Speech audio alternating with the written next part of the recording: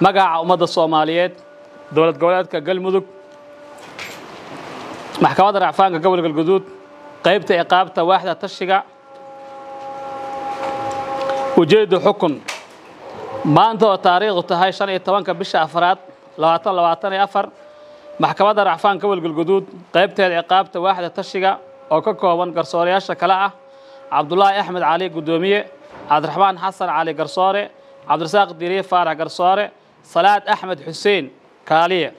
Ku dhawaaqaysaa xukun si waafaqsan qodobka boqol labaatan firqadiisa saddexaad xeerka habka ciqaabta soomaaliya galka tirsigiisu yahay afar labaatan labaatan afar kuna taariikhaysan afar labaatanka bisha saddexaad labaatan labaatan afar kana dhexeeya dhinacyada kale ah racfaanayaasha eedeysanayaasha. Nuur cabdi maxamed xaanshi shuceyb maxamed faarax aadan bile cabdulaahi xasan ciid kuwaasoo ku eedeysan dilka marxuumiinta kale ah doctor axmed xasan cusmaan eedeysanayaashaas magacooda sare ku xusan.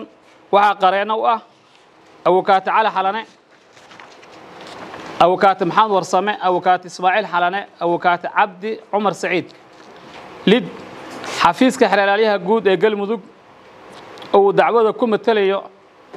ku-xigeenka xeelaalyaha guud ee galmudug cabdixakiin maxamed xirsi asbaabta xukunka maxkamaddu markay aragtay galdacwadeedka tirsigiisu yahay afar labaatan labaatan afar kuna taariikhaysan afar labaatanka bisha saddexaad labaatan labaatan iyo afar kana furan maxkamadda racfaanka gobol galguduud kana dhexeeya dhinacyada kale ah racfaanayaal eedeysanayaal. Nuur cabdi maxamed xaanshi ina aamine maxamed faarax labaiy labaatan jir ah ku dhashay ceeldheer degan ilix. Shuceyb maxamed faarax aadan ina jamaad maxamed weheliye sagaal iyo toban jir ah ku dhashay ceeldheer degan ilix bile cabdulaahi xasan ciid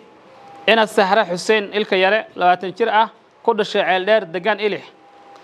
eedeysanayaashaasi magacyada sare ku xusan waxaa qareeno u ah abukaati cali xalane abukaati maxamed warsame abukaati ismaaciil xalane abukaati cabdi cumar saciid. Lid racfaasane xafiiska xeelaalyaha guud ee galmudug oo dacwada ku matalaya ku-xigeenka xeelaalyaha guud ee galmudug cabdixakiin maxamed xirsi markay aragtay xukunka tirsigiisu yahay siddeed labaatan labaatan iyo afar kuna taariikhaysan toddoba labaatanka bishii labaad labaatan labaatan iyo afar kana soo baxay maxkamadda gobolka galguduud qaybteeda ciqaabta waaxda tashiga markay aragtay arjiga racfaanka sumadiisu tahay xaqa xa gama islaash eber laba eber saddex iyo toban islaash labaatan labaatan iyo afar kuna taariikhaysan sagaal iyo tobanka bishi saddexaad labaatan labaatan iyo afar kana soo baxay xafiiska qareenada xalana low fem markay aragtay jawaab celinta xafiiska xelaalyaha guud ee galmudug. Markay dhegaysatay dooda qareenada difaaca eedeysanayaasha taasoo ku saabsan asbaabta racfaanka. Nuxurkeedu ahaa in xukunka tirsigiisu yahay siddeed labaatan labaatan afar kuna taariikhaysan toddoba iyo labaatanka bisha labaad labaatan labaatan afar ka soo baxay maxkamadda gobolka galguduud qaybteeda ciqaabta waaxda tashiga uusan ahayn mid loo cuskaday wax caddeemo ah uu soo gudbiyey xafiiska xelaalyaha guud ee galmudug. Asbaabtiisana ay tahay mid iska hor imaanayso. Markay dhegaysatay jawaab celinta xafiiska xelaalyaha guud ee galmudug ee ku saabsaneed ka jawaabid celinta asbaabta racfaanka nuxurkeedu ahaa in xukunka tirsigiisu yahay siddeed labaatan labaatan afar kuna taariikhaysan toddoba iyo labaatanka bisha labaad labaatan labaatan afar ka soo baxay maxkamadda gobol galguduud qaybteeda ciqaabta waaxda tashiga uu yahay mid sax ah laguna dhisay qiraalka eedeysanayaasha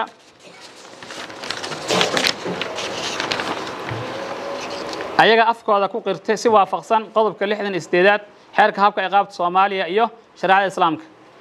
Markay aragtay jawaab celinta eedeysanayaasha ay kaga jawaab celiyeen su'aalihii la weydiiyey iyo iyo hadal hadalkii ka soo jeediyeen maxkamadda racfaanka gobol galguduud horteeda. Markay dib ugu noqotay qoraaladii ay soo gudbiyeen dhinacyada iyo doodii ku saabsaneed asbaabta racfaanka iyo jawaab celinteedii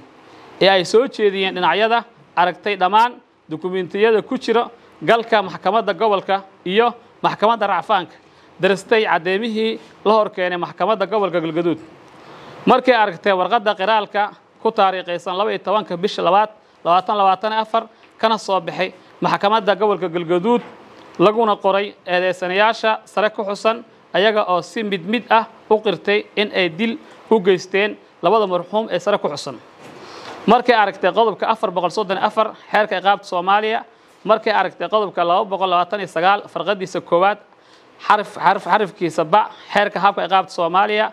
Markay aragtay kitaabka rawdatu aطaalibiin juska shanaad bogga boqol toban iyo saddex daaru qudus kaasoo sheegayo in qofka haddii uu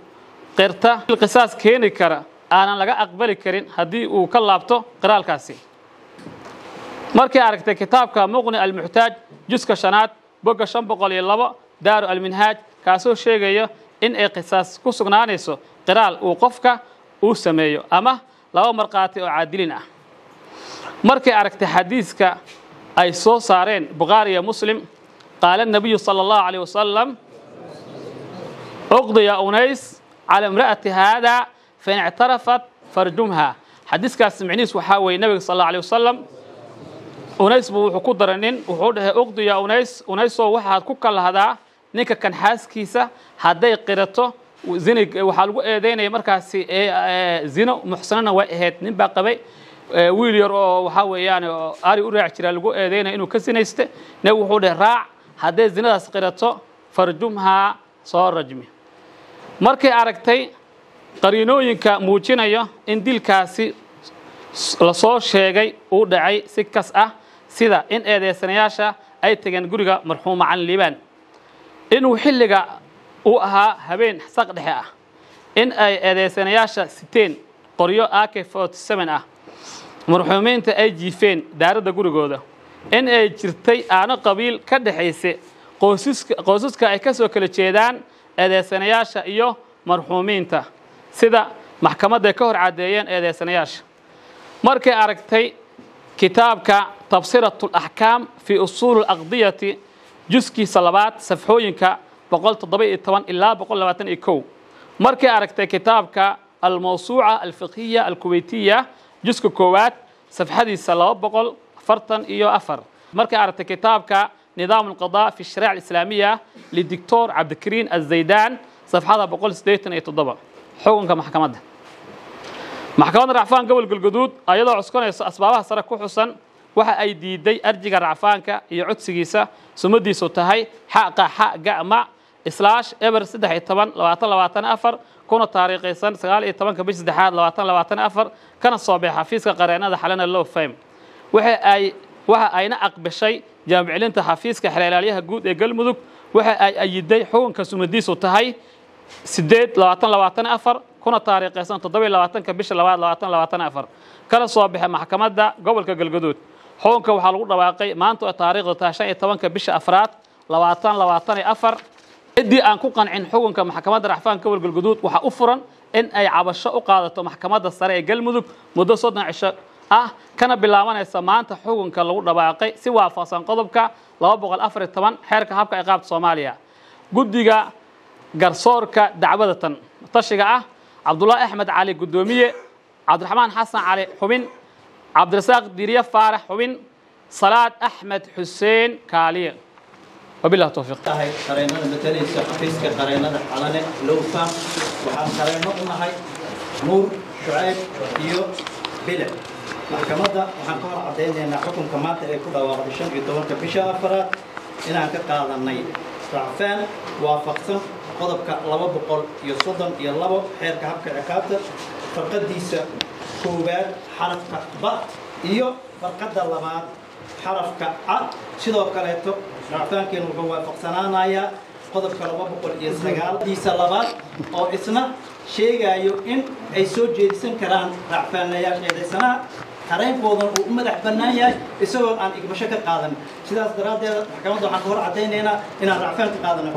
كم ضع مازن حق دستورة أولاد اويان ويان وقاعد كرتا كالي أودي من قلي إنه عبشة قرين كقاتم محكمة الصراعة وحقد أنه يحرق ما سنتين